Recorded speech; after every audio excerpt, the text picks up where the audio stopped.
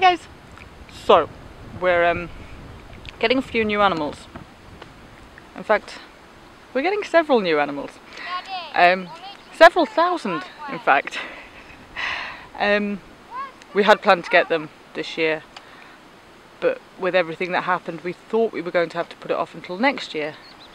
And then we were looking on a local Facebook group and we found someone local who had some for sale. So this weekend we are making preparations and tomorrow we're going to go and get some.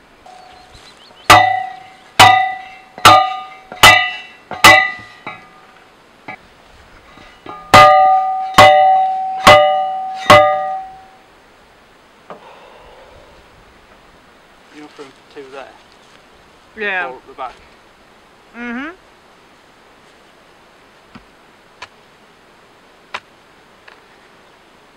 And then, I mean, the rest can go along that fence. Yeah. so we've chosen our spot for them. They're going up in this top corner up here.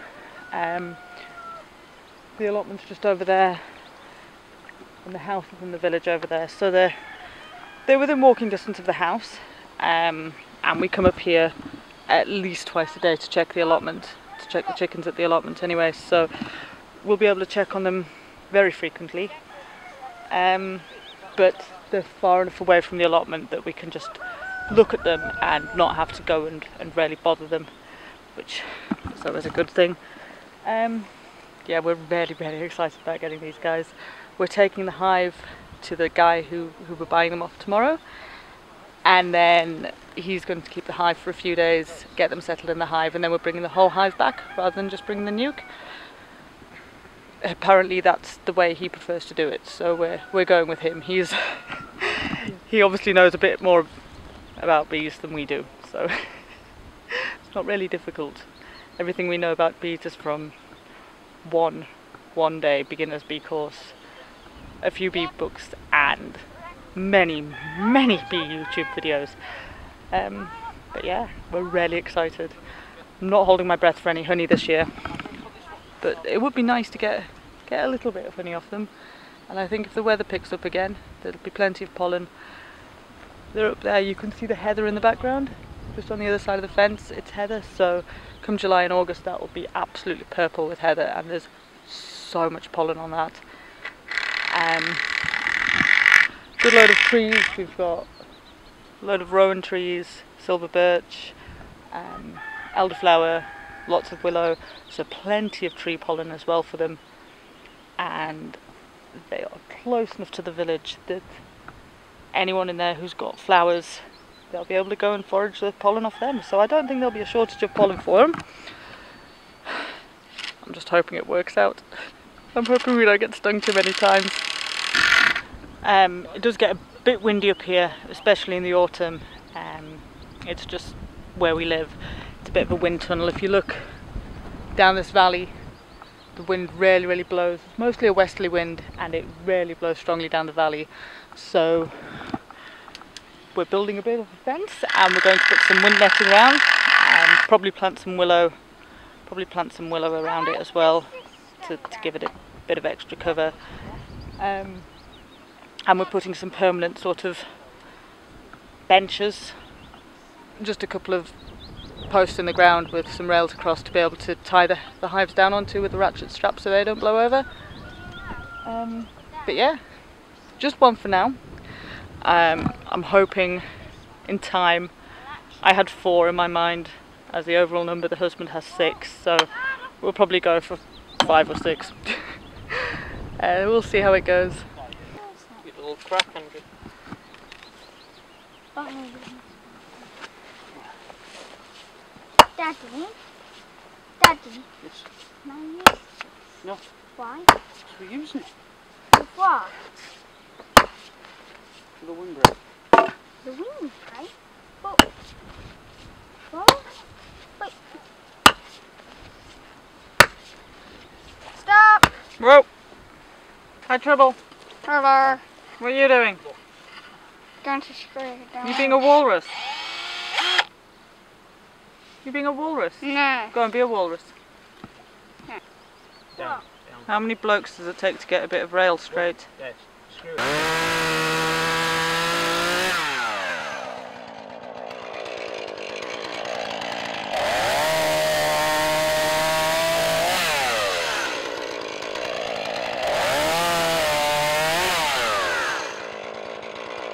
So we've got this bit here built. Um, we reckon this will fit two hives on it.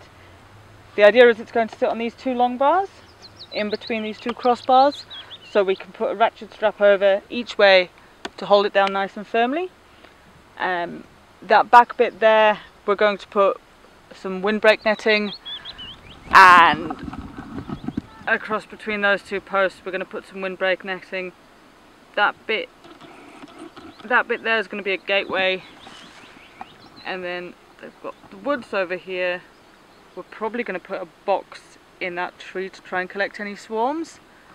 Um, either wild swarms or if they do swarm that's the first tree they'll come to. So the idea is we're going to pop a box in there just to try and catch them if they're naughty.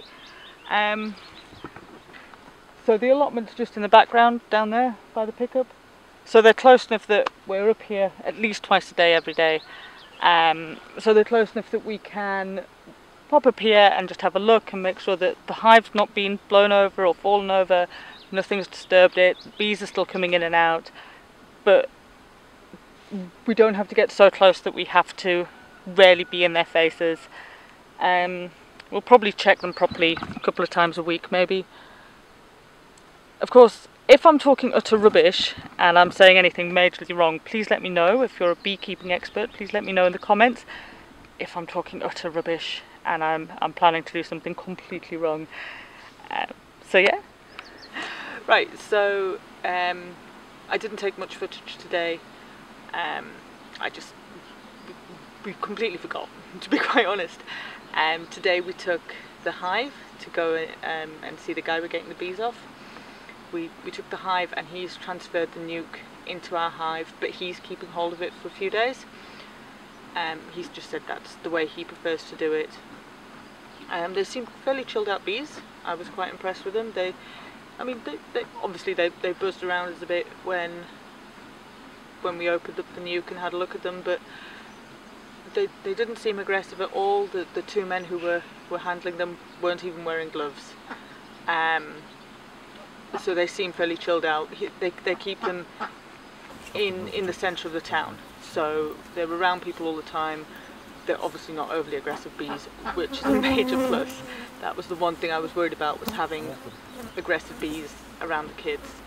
So yeah, uh, all we did is we put our, our hive where the nuc was, transferred the frames over, put in some, some new frames, and and then we're going back on Wednesday morning to pick it up. He'll go, he'll the, the guy we're getting them off will lock them in on Tuesday night, and then Wednesday morning we'll go pick them up and put them up at the allotment. So excited! I can't wait. I can't believe I've actually got my bees. I had honestly given up on getting bees this year with the, the state of the world this year. I'd given up on it. I didn't think it was going to happen. I am so excited and so over the moon. I'm not sure if we'll get honey this year. I hope we get just a little bit, just a couple of jars. Um, but if we don't, you know, that's fine. We'll survive. Um, but yeah, bees. Um, so that's it for this video. Um, I'll bring you another one, obviously Wednesday when we go to get the bees. That'll be a, another big video. Um, but as always, if you've heard anything I've said in this video that's been wrong and you've gone, oh, hang on, I wouldn't do it that way. I've been keeping bees since the year dot and I wouldn't have done it that way. Please comment down and let me know if I'm about to do something majorly wrong. Um, and of course, if you just want to say say anything, just drop me a comment down below. Give me a thumbs up if you like this video and subscribe if you want to see more of our beekeeping adventures. And I will see you on the next video, guys. See you later. Bye.